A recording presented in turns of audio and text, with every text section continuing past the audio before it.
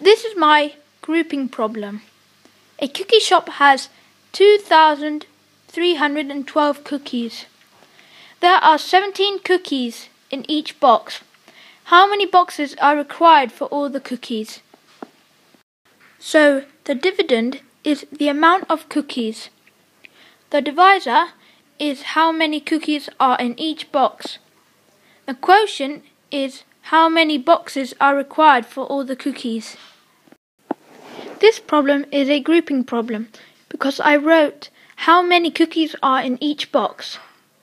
In a sharing problem, I would write how many boxes and not how many cookies are in each box. Here's a drawing that I made for this problem. 17 boxes. First I'll start with putting one square in each box. And if I could fit another square in every single box, I would do that. And then if I can't, I'll move on. Then I'll do the triangle, which is 10. I'll put a triangle in each box.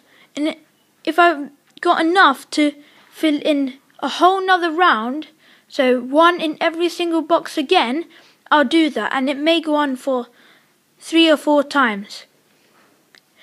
Then, when you've run out of those, you'll go to the circles, which is the ones. And then you'll do exactly the same thing with the ones. But I am not going to solve it using the picture. I'm going to solve it in a strategy called partial quotients. At the top I have 17 times 100, which equals 1700. Below that I have 17 times 30, which equals 510. And then below that I have 17 times 5 equals 85. So the largest number is 1, 1700, so I'll write that down.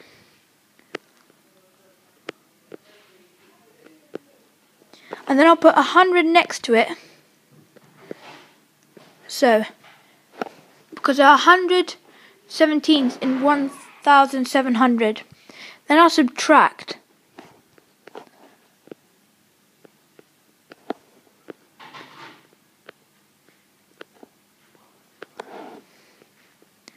Then I'll get 612. So I can see 510 is quite close, so I'll try that.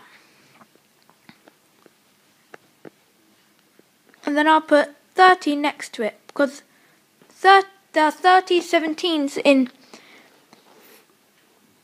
510. Then I'll subtract.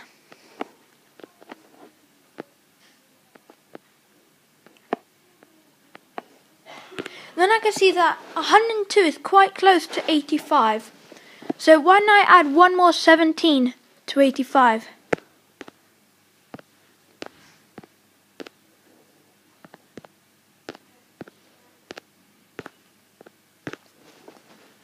There we go. 17 plus 85 equals 102, which means that 17 times 6 equals 102. So I'll put 102 down and then I'll put 6 next to it. Then I'll subtract. I'll get 0, which means that there are no remainders in this problem. When I'm done that, I'll add up all these numbers and I will get 136.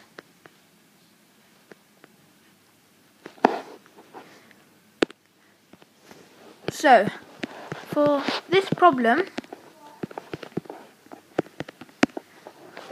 we will need 136 boxes for all the cookies. That is the end of this problem.